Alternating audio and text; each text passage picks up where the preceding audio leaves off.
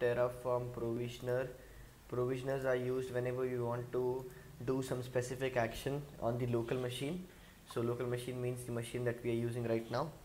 Or the remote machine which is going to be created using terraform. So for example ec2 machine if you are using it in aws and the common examples are like you use it for installing packages.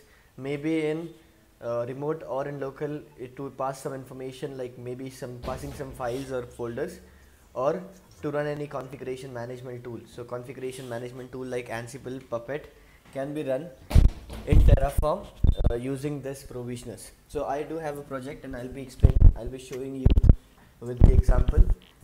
So Okay. before going ahead let's learn about the types of provisioner. So there are three types of provisioner. First is the file provisioner the second is local and the third is remote so file provisioner is used whenever we want to transfer or copy files from our own local to the remote machine. So uh, that is why we use file provisioner. We use local whenever you want to run commands or whenever you want to do some task in the local machine. So we use local exec provisioner. And we use remote exec whenever we want to do some commands install packages or do anything on the remote machine. So while working with any of the provisioner we have to provide the connection blocks. So connection blocks means we have to tell terraform how are we going to connect to any machine? So let's say we are using the remote exec or the file provisioner. So we are going to do some task on the remote machine right? So some some machine which is not uh, so you don't have access to it. You need to provide a connection block. So most provisioner device require access to the remote resource via SSH or WinRM and expect a nested connection block with de- with details about how to connect. So whenever you're connecting to any other remote or whenever you're using the file provisioner, you have to provide this connection block, uh, which can be using SSH if it is a Linux machine or WinRM if it is a Windows machine. So connection blocks look something like this. So here you have to pass in the type. Type is going to be SSH. Host is going to be public IP and if you use the self.public IP uh, the public IP of that instance is going to be put in here and you have to pass in the user and the password same way you do the SSH command like you have to pass in the key and the username and the password. Same way you have to pass in the key here the username and the password. And you have to use this connection block for provisioners whenever you want to access the remote resource. Let's say we have launched any instance on EC2 and if I want to connect to that instance instance I have to pass I have to run this command SSH command where I have to pass in my key and then I have to pass in the username and then I have to pass in the host right Yeah. and after this I can connect to my machine whichever host I am trying to connect to so same way if you're using provisioners which are accessing the remote resource you have to pass in the type the host username password and private key right so let's go and learn about the file provisioner. The file provisioner is used to copy files or directories from machine use executing Terraform to the newly created resource. And file provisioner supports both SSH and WinRM. So let's say you have any, uh, so I have these files in my local machine right now, right? So I want to pass this app app folder from my local machine to the EC2 instance that is created using Terraform. So how can I do it? I can do it using the file provisioner right so you can see the syntax here the you have to pass in the name of the provisioner which is going to be file and then you have to pass in the source source is going to be your local so let's say the source is going to be slash app right?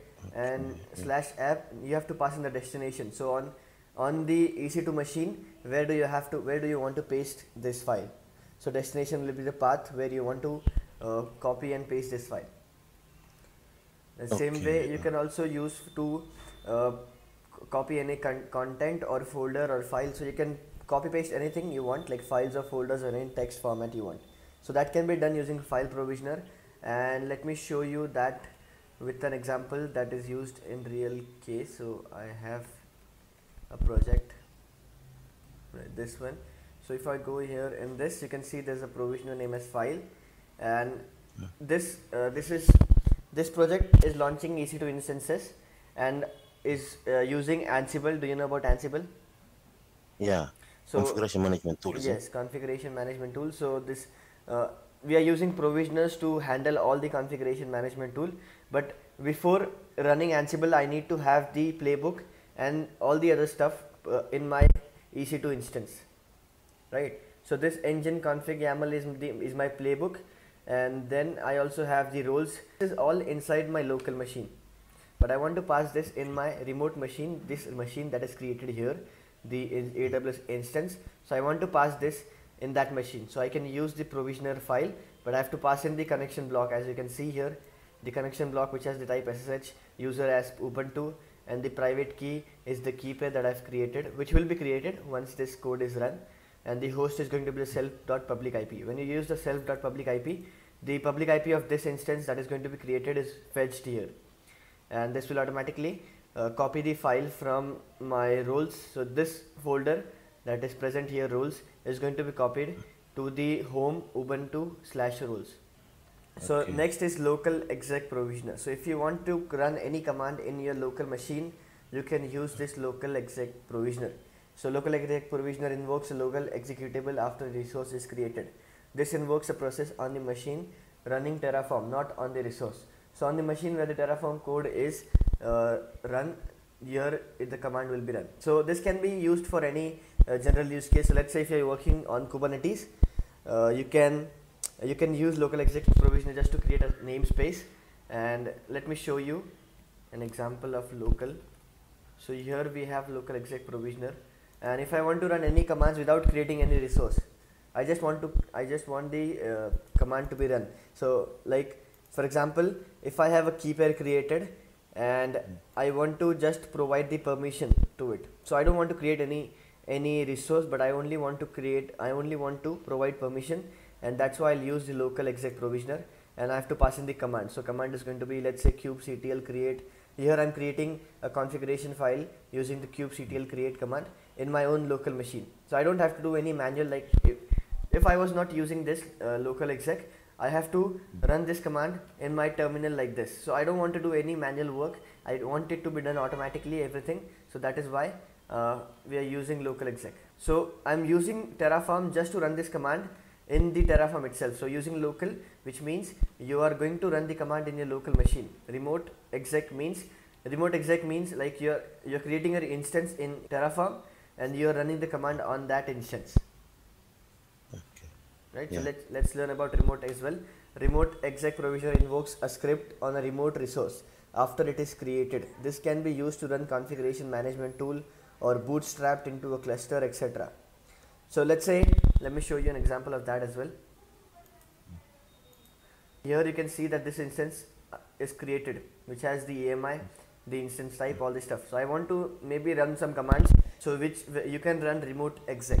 So using remote exec, I can run uh, commands like, let's say I have used remote exec here, and I have used the inline command where I'm passing all the commands. So I'm echoing this. I have whenever I'm using Ansible, I have to pass in the host file right where I have to pass in the IP address of private IP address of all the other EC2 instances so that the playbook can be run on that instances. So for that I have to create a host and to create that host I am using remote exec where I am echoing everything that I have put in here. So I am echoing Ansible, the name of the host. Uh, this means that I am running some commands on my remote machine without accessing it. Right. All right. Okay. Without accessing it. All right. Okay. So I'm doing everything I'm from here. With so I just have to pass in the connection block. So I'm accessing it through this, but not going to the console or not going to my terminal. I'm just using the Terraform to do any everything. You can use remote exec provisioner to run commands like you can run commands. You can run configuration management tool as well. So let me show you. Like I have a command which is uh, running. So this is remote exec provisioner also and this is the command yeah. to run the Ansible playbook Ansible playbook and the name of the playbook right so this command is run without going into the instance. Was not using this remote exec provisioner. What I was doing is I will be creating the instance. Once that instance is created I'll go to my uh, console. I'll log into my console. Then I go to then I'll go to my AWS EC2 instance. Right? And after that yeah. EC2 instance I have to go uh, to the particular instance which is going to be created.